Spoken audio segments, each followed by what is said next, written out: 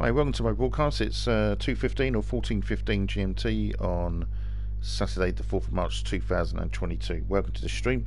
It's very simple. I'm going to squeeze this one in before the uh, F1 Bahrain Grand Prix qualifying at 3 o'clock. And it's uh, the F2 sprint race that has recently finished. I've tweeted out the result on Twitter at SportyPH2 of the top 8. Uh, I'll go for that quickly. So top 8 were Boschung, Hauger, Martins, Iwasa, Pourchaire, Pourchaire, sorry, Daruvala, Maini, and Fittipaldi, the top eight points finishers. Um, Boschung was um, it's a reverse grid, so he was tenth the other day in qualifying. Gets reversed and he goes first. And um, anyway, so it'll be a very quick one, and uh, I should get on with it. Here's the um, I've already selected the F2 career mode and I'll just go through these teams quickly. So these are ones just to go through the lineup of the drivers that are definitely in this year and those that aren't anymore. Hauger is definitely in. Daruvala is definitely in this year. Doohan is in this year. He didn't do very well today, and Sato isn't. Liam Lawson isn't, and Logan Sargeant isn't. Logan Sargeant is uh, makes his F1 deb debut this weekend. Marcus Armstrong isn't also. I talked about where Armstrong and Lawson have gone in future. Vips is not in either this year. Vesti is, and Pourchaire is. Drugovich is obviously the F2 champion and is a test reserve driver for Aston Martin. Novalak is in this year. Caldwell isn't in this year. Boschung is the one we're going to pick. Just finishing off. Nissany is in, Eras is in this year. For sure, and Williams isn't in this year. Fittipaldi and Calderon's not in this year. And Hughes and Cordeel is in this year. So going back, was Campos was it? Campos is Beauchamp.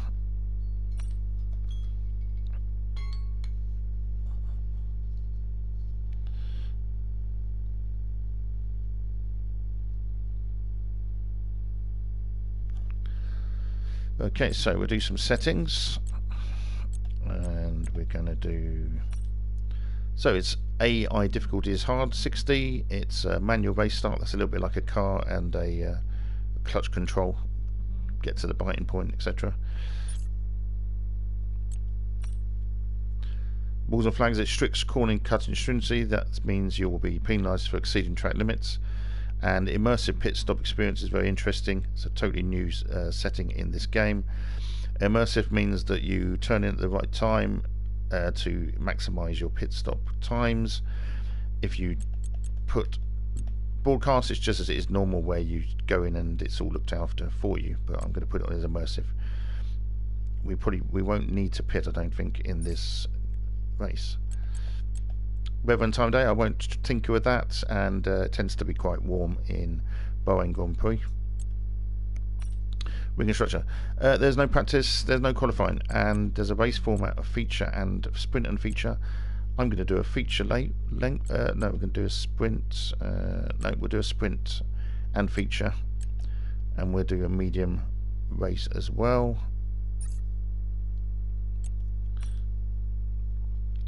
Assists, uh, I have a wireless controller, not a steering wheel, and it's medium brake assist, meaning traction control, auto the gearbox, pit assist on, pit release assist on, EI assist on, and DI assist on. Start the event. It's a randomised grid, so I don't know where Boschung will be. As I said, he finished 10th in qualifying, but because of the reversal of the grid, he started on pole today, and he carried on and won the race quite convincingly by three or four seconds, I think it was at the end. Now, if I crash in the these streams, they finish. Doesn't matter whether it's on the first lap or, Hello or whatever. From the Bahrain International Circuit here in Sakhir. Down on the grid, the engineers are making their last check.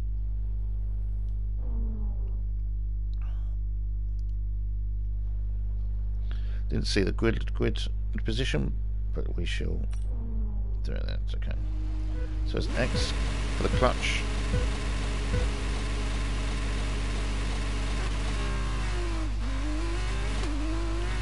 So I start 11th. Now right hand side is a good strategy for me, as long as I keep away from trouble. A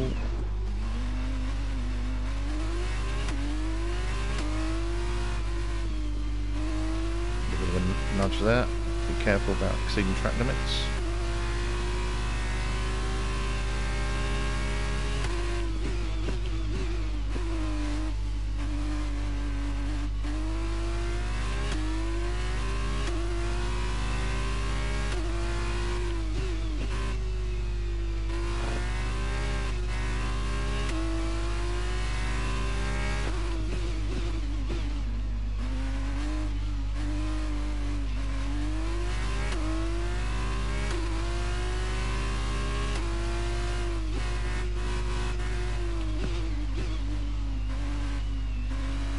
Steady starts.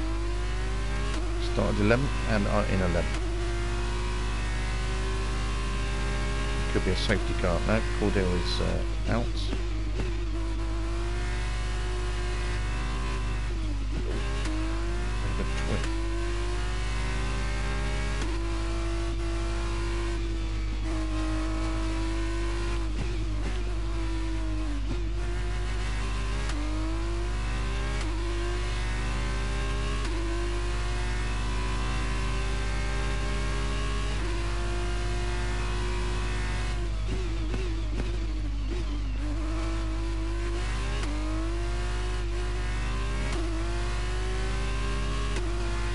Good for a points finish.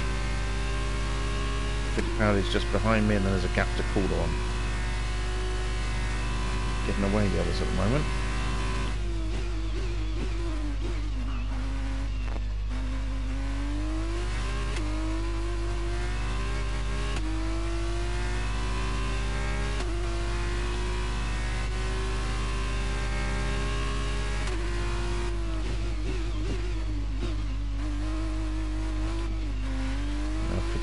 Hits me. I'm down to 12.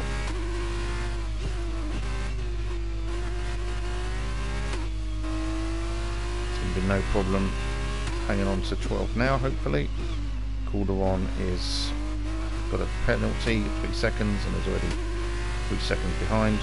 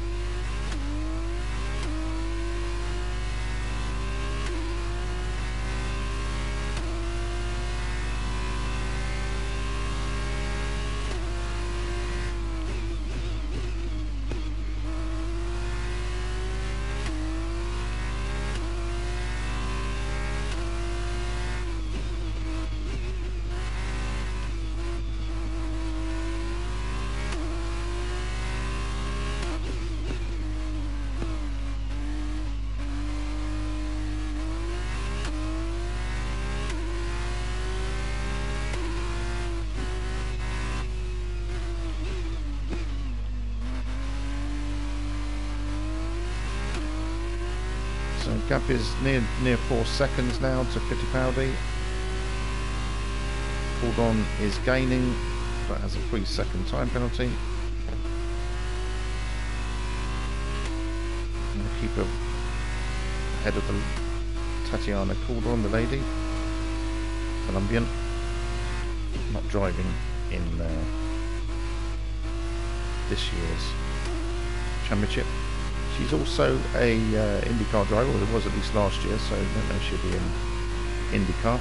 But IndyCar is starting in St. Petersburg, Florida uh, tomorrow, and I'll be doing some sort of uh, tweeting about that on my Twitter account at Coach 2 of IndyCar. And then this season I'm looking forward to driving on the IndyCar game, but when that is, I don't know, it'll be a little while yet until it's developed and released.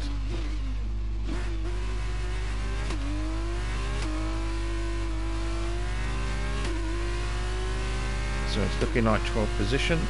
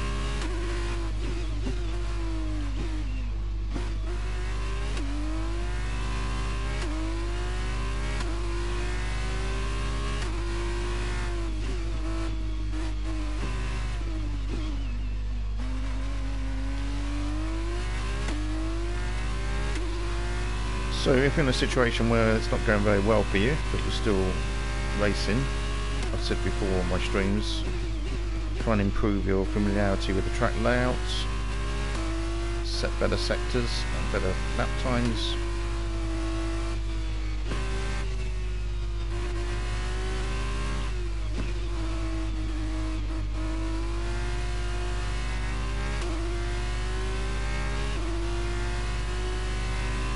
coming and keep away from Hughes.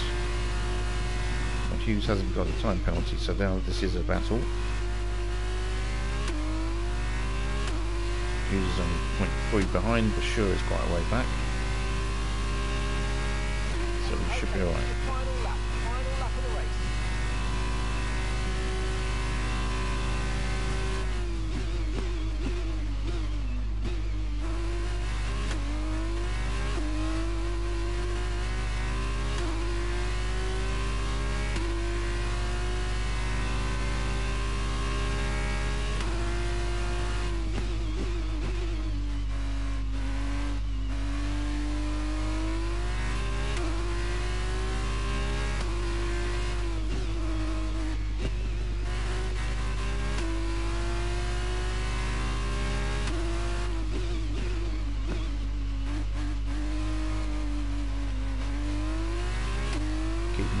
Hughes.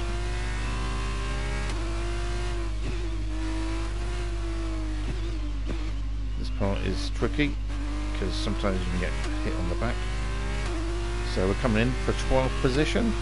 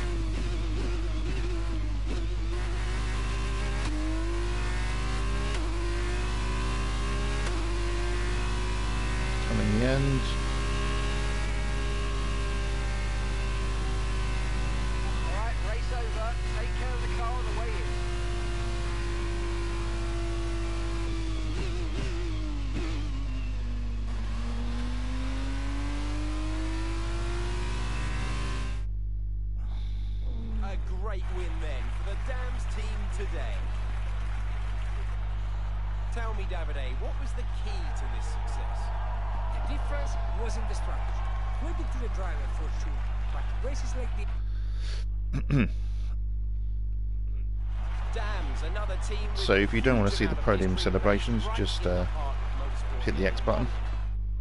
Now then, Davide Valsecchi, who would you say was your driver of the day? I'll probably go for Logan Sargeant. The team did a good job with the strategy to put him in the pack, and he was good enough to take the opportunities. After all this drama, you'd be mad not to join us for the next race. We hope to see you then. Take care. So we'll have a look at this lineup again and uh, work out which drivers are in the uh, championship this year and which aren't. So Arasa is, Caldwell isn't, Nissany is, Sargeant is making his F1 debut for Williams this weekend. Sato isn't in this year. Helga, Vesti, Daruvala are. Lawson isn't. Pourchaire is. Fittipaldi is. Boschung is. He won today.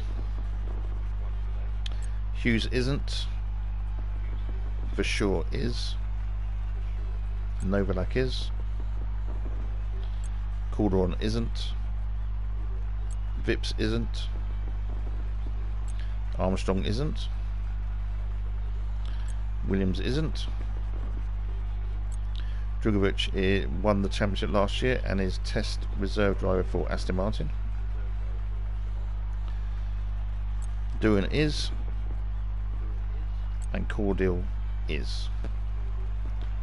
Um, I will do a lineup of all the drivers on the roster at some stage over the weekend when I don't know. Okay, uh, let's have a look at lap times. 144.660. Yeah, some way off the pace. Okay.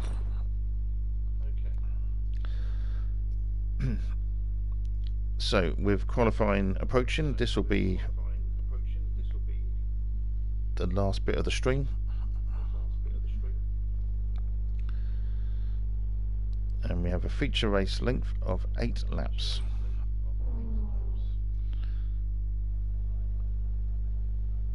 Welcome back to the second race of the day. Let's have a at starting grid this time. The grid order. Liam Lawson lines up on pole position, with Teo Pourchaire starting alongside. Looking down the rest of the grid, we have Vesti, Sargeant, Jehan Daruvala, and Sato. Hauger, Nissany, Caldwell, Ayumu Iwasa, Boschung, Calderon, Enzo Fittipaldi, Doohan, Verschoor, Hughes, Drugovich, Clement Novalak, Armstrong, Cordeel, Williams, and Juri Vip starts from the back of the grid. And with preparations almost complete, let's head down to the track.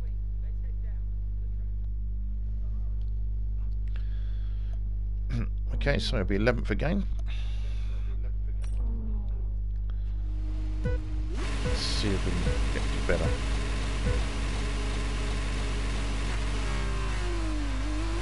So what I'm going to try and do is I'm going to try and get over to the right hand side.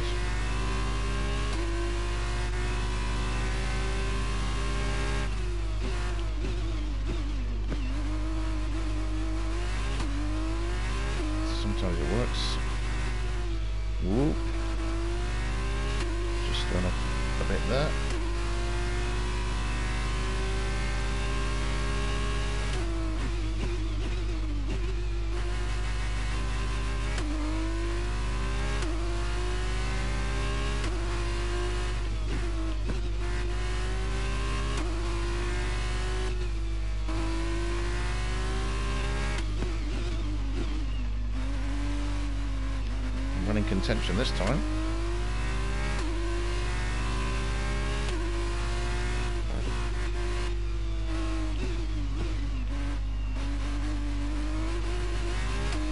So if you've never driven F2 on racing games, there's four reasons why you might want to do it. One, you may never have heard of the drivers. Two, you may not have any idea who the good teams are.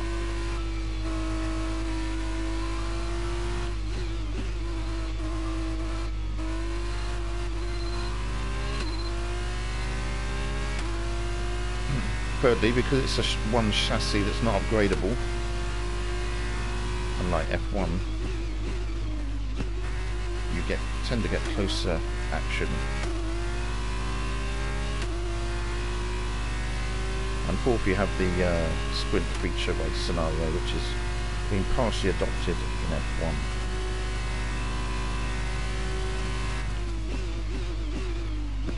So now we're chasing down Sato, the the roster has been set this year, but I suppose it could change. When drivers get injured, stuff like that.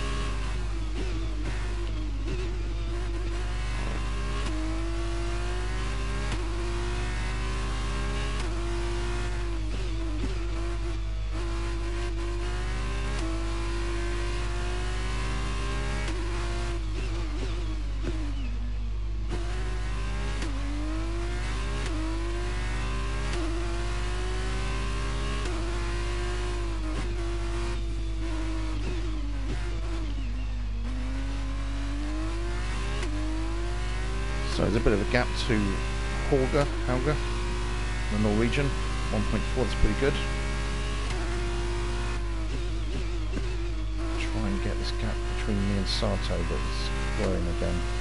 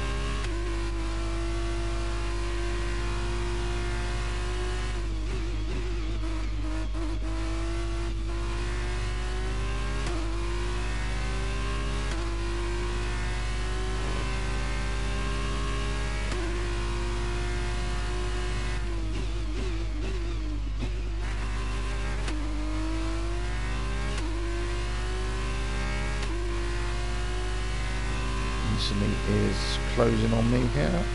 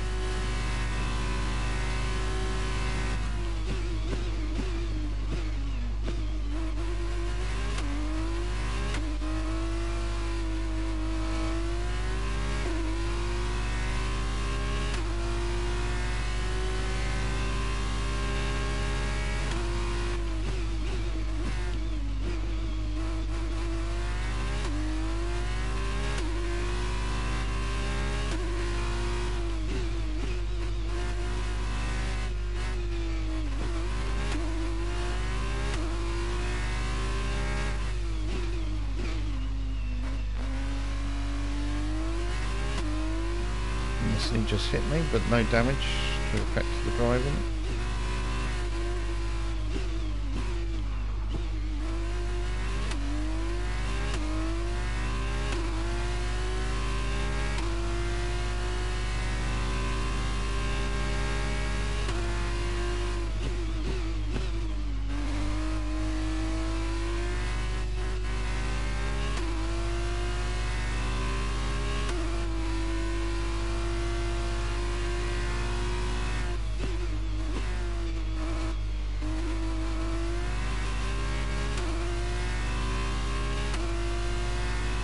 Away from missing me again.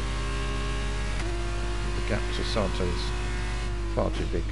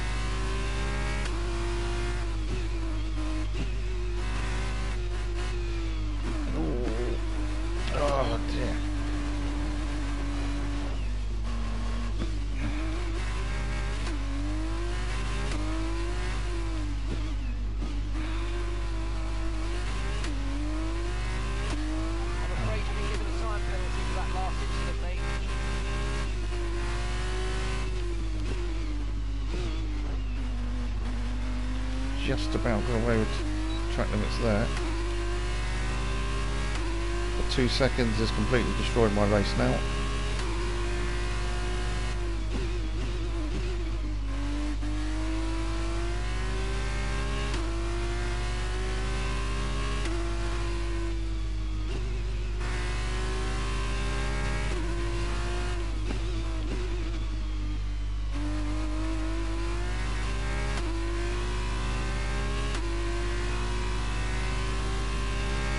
Get ahead of these. Uh, dear me. Are you okay? That was a nasty hit. Turn the engine off and wait for the marshals. Just overdoing it there. So when you get to the situation, simply select the X button and retire from session. Retire from the session if you want to do so. And that's it. The ART team are ready and waiting to celebrate.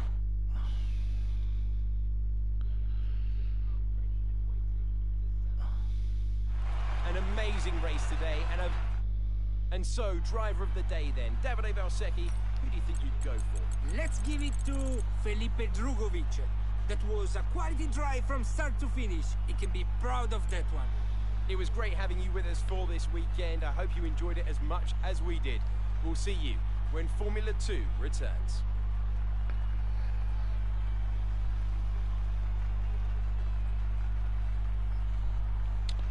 Okay, so thank you for watching, and as I say, I'll put out a list of uh, full results for the F2.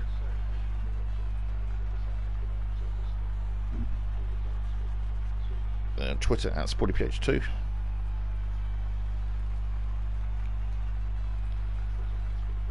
And uh, F2 is on early in the morning, and I'm hopefully we'll put the results out for that in the morning as well.